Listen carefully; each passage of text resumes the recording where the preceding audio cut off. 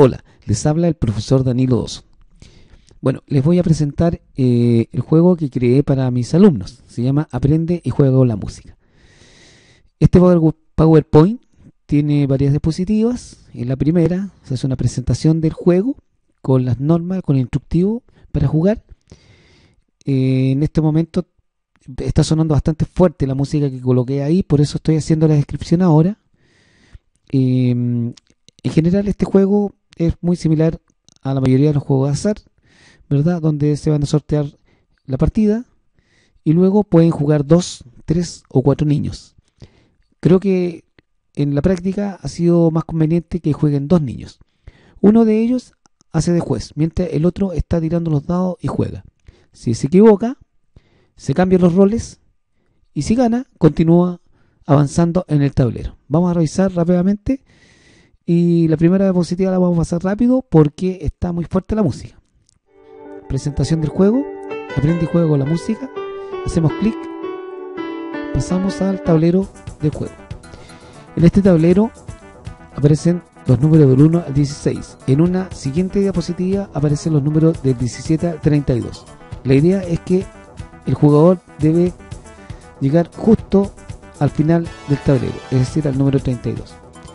Cuando tiro el dado, marco el número que me ha salido en el dado, esos numeritos que están ahí, lo voy a marcar con un clic y va a cambiar de color, de modo que yo sé luego en qué lugar del tablero estoy o he quedado. Por ejemplo, si me sale el número 5, voy a marcar el número 5 primero y luego cambio de color, entonces nos está indicando que ahí estoy en el tablero y marco la flecha para ver la pregunta.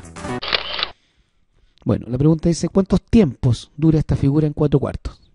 Aquí el alumno tiene que dar la respuesta. Ya, eh, vamos a suponer que el alumno se equivocó. Dice, ¿cuántos tiempos dura esta figura en cuatro cuartos?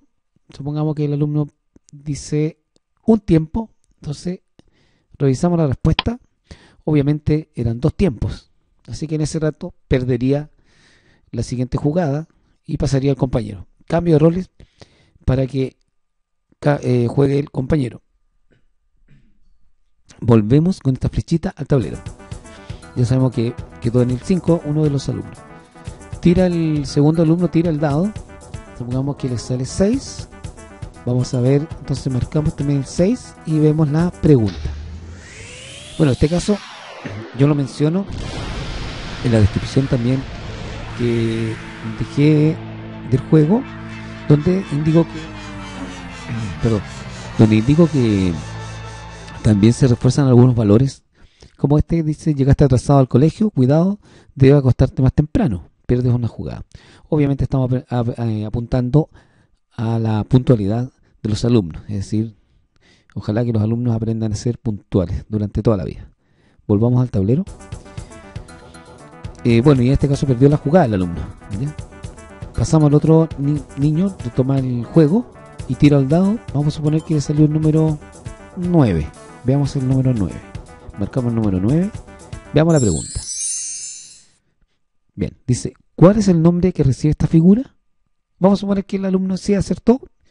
Bueno, esta es una cuartina o ligerito como yo le enseño a mis alumnos. Veamos la respuesta. Esta cuartina o ligerito. Como ustedes pueden ver, además hay unos sonidos, hay música que va acompañando cada una de las diapositivas. Así vamos a ir avanzando. Nos podemos encontrar eh, también eh, con algunas otras diapositivas que tienen relación con los valores,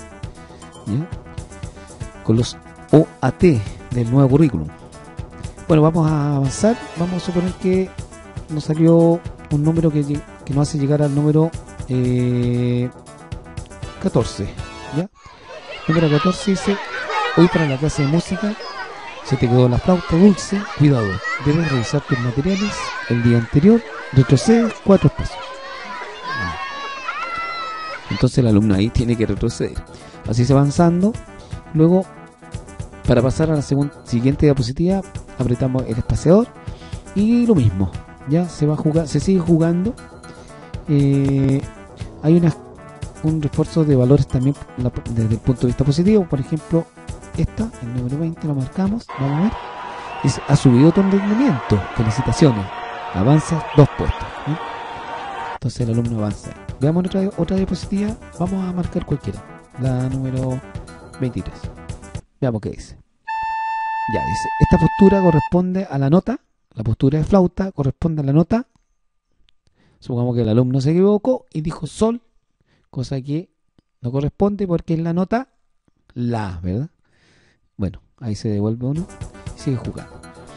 Así lo va a hacer hasta que, como les indicaba anteriormente, se llegue con un número exacto al número 32. Veamos otra por si acaso podemos ver. Acá dice, para tocar rítmicamente, este compás, decimos, un 2, trote, pan, trote, pan, un 2. Pan, trote, un 2. En este caso la alternativa correcta es la letra P. Veamos la respuesta. Ahí estamos. Trote, pan, un 2. Y vuelve. Bueno, así vamos avanzando, avanzando. Veamos la penúltima diapositiva. Ah, el nombre de este maestro de la música es Mozart, Beethoven, Haydn, Chopin. Respuesta correcta es Mozart. Ahí estamos, nos devolvemos. Bueno, no marqué el numerito ahí, pero en todo caso se entiende la idea.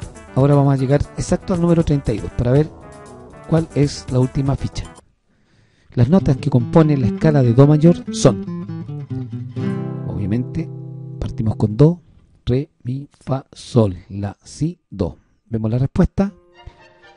Ahí estamos. Si tu respuesta fue correcta, entonces pasa a la meta. De lo contrario, haz clic en volver. Y ahí ya el alumno obviamente ganaría y aparece la última diapositiva. Felicitaciones, ha ganado un punto para la próxima prueba de música. Eso es en términos generales el, el juego eh, que les he presentado en esta ocasión. Espero que les guste y ojalá nos veamos en otra ocasión. Chao.